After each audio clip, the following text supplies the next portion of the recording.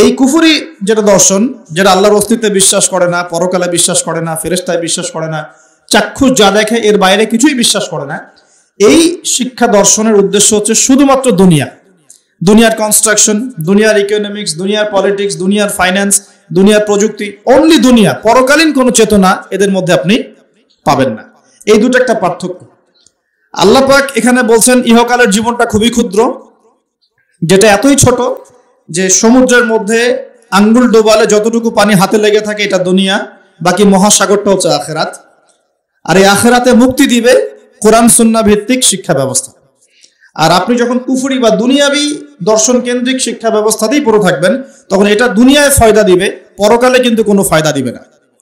এখানে আরেকটা প্রশ্ন আসবে, তাহলে কি আমরা দুনিয়াবি শিক্ষা ব্যবস্থায় শিক্ষিত হব না? উত্তর হচ্ছে, অবশ্যই হব। অবশ্যই হব, তবে কোরআন এবং সন্ন্যার শিক্ষার মানদণ্ড ঠিক রেখে তারপরে আমি দুনিয়াবি শিক্ষার বিষয়গুলো দিকে ফোকাস করব। ইসলামের প্রারম্ভিক যুগে, সোনালী যুগে এই বিশ্বকে মুসলিমরা যা দিয়েছে, গণিতের কথা বলেন, জ্যোতির্বিজ্ঞানের কথা বলেন মেডিকেল সায়েন্সের কথা বলেন হ্যাঁ বায়োলজির কথা বলেন ফিলোসফির কথা বলেন ইকোনমিক্সের কথা বলেন, বা এই যে আমরা বলি ভূগোলের কথা বলেন, অঙ্কশাস্ত্র বলেন অ্যালগোরিদম বলেন প্রতিটা সেই ডিপার্টমেন্ট যার উপর ভিত্তি করে এখনকার সভ্যতা দাঁড়িয়ে আছে, এগুলো মুসলিমদের হাতে এই পৃথিবী দেখেছে, অমুসলিমদের হাতে দেখে নাই। ওই সময়কার মুসলিমরা কি পিছিয়ে পড়েছিলেন? জি না। ওই সময়কার মুসলিমরা আমাদের চাইতে বেশি এগিয়েছিলেন তারা কোরআন এবং সুন্নাকে গবেষণা করে চলমান বিশ্বের সমস্ত সমস্যার সমাধান দিচ্ছিলেন। কিন্তু আমরা এখন কোরআন সুন্নাকে হাতে নিয়ে চলমান বিশ্বের প্রতিটা ডিপার্টমেন্ট নিয়ন্ত্রণ করতে পারছি না, এটা আমাদের ব্যর্থতা। এটা কোরআন সুন্নার ব্যর্থতা নয়। এখানে সলিউশনটা কি? এটা বলে আমি আগে সামনে যাব। এখানে মূল বিষয়টা হচ্ছে যে আল্লাহ রবুল আলমিন আমাদেরকে সৃষ্টি করেছেন একটা বিশাল উদ্দেশ্য নিয়ে। সেটা হলো ওয়ামা খালাকুল জিন্না ওয়াল ইনসা ইল্লা লিয়াবুদুন আল্লাহ পাক আমাদেরকে সৃষ্টি করেছেন যাতে আমরা তার ইবাদত করি। ইবাদত করার জন্য আমাদের দরকার কিছু গাইডেন্স এই গাইডেন্স আল্লাহ পাক দিয়েছেন কোরআনে এবং হাদিসে। প্রয়োজন একজন শিক্ষকের, মহান শিক্ষক দিয়েছেন মোহাম্মদ রসুল্লাহ সাল্লাহ আলী সাল্লামকে যাকে দেখে শিখতে হবে। আমরা তাকে দেখছি না, তার সাহাবিরা তাকে দেখেছেন, তার পরের জেনারেশন সাহাবিদেরকে দেখেছেন তারপরের জেনারেশন তাবেইদেরকে দেখেছেন। এভাবে আস্তে আস্তে আস্তে আস্তে এই জ্ঞানটা চলে আসছে। এখন আমরা ওলামায় কালামকে দেখছি যারা কোরআন এবং সুন্নাকে ব্যাখ্যা করছেন এবং এর আলোকে যুগ এবং জিজ্ঞাসার জবাব দেওয়ার চেষ্টা করছেন।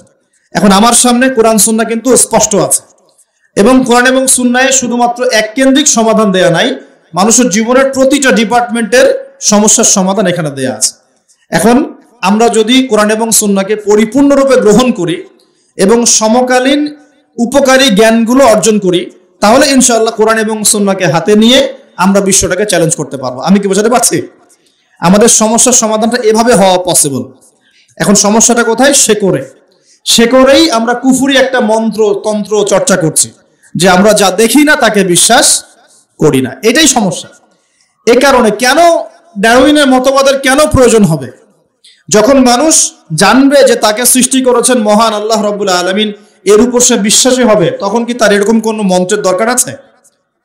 আর যখন একটা জায়গার, একটা এলাকার, একটা দেশের, একটা সমাজের বেশিরভাগ মানুষ আল্লাহ বিশ্বাসী, তখন জোর করে কেন আমি একটা মতবাদ চাপিয়ে বাচ্চাদেরকে পড়াশোনা করাবো? উদ্দেশ্যটা কি? উদ্দেশ্য হচ্ছে একটা সুদূর প্রসারী উদ্দেশ্য। যে আমরা চাচ্ছি আগামী ২০ বছর ৩০ বছরের মধ্যে যেন এমন একটা প্রজন্ম গড়ে ওঠে যারা আল্লাহ থেকে অনেক দূরে চলে যাবে। এটা উদ্দেশ্য। না হলে আমি কেন এই মতবাদ কচি কচি বাচ্চাদেরকে শেখাতে যাব? কেন শেখাতে যাব? যে মতবাদটা কোরআন সুন্না বিরোধী, একই সাথে বর্তমান আধুনিক বিজ্ঞানও বিরোধী। মেডিকেল সায়েন্সের কোনো ক্লাসিক্যাল বইয়ের মধ্যে চ্যালেঞ্জ করলাম মেডিকেল সায়েন্সের কোনো ক্লাসিক্যাল বইয়ের মধ্যে এই মতবাদকে স্বীকৃতি দেওয়া হয় নাই। কোনো মতবাদ, এই মতবাদটাকে না।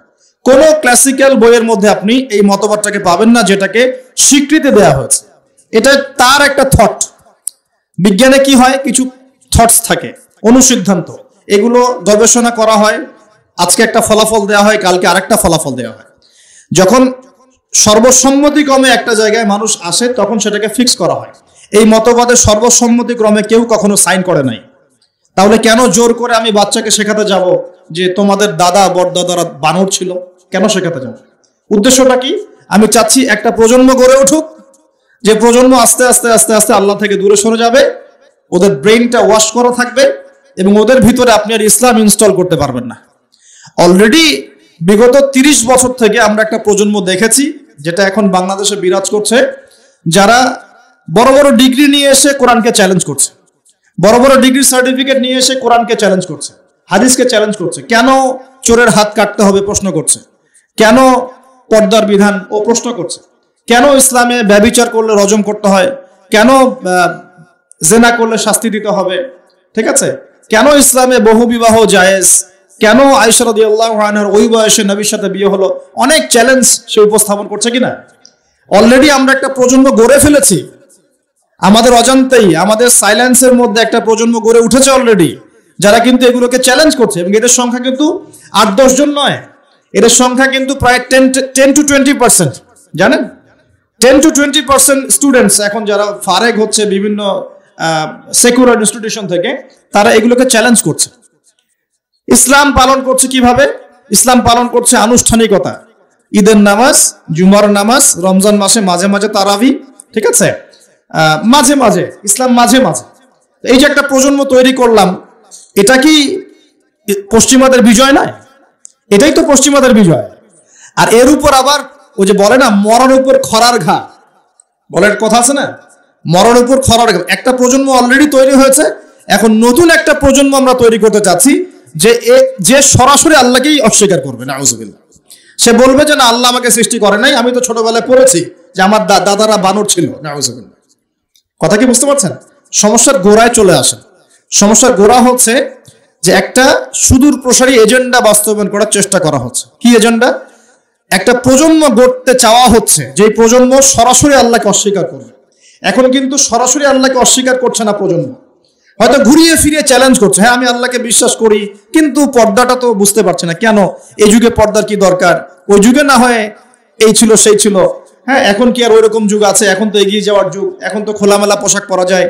হাত কাটার কি দরকার? এগুলো তো মৌলবাদী আইন, বর্বর আইন মনে হচ্ছে।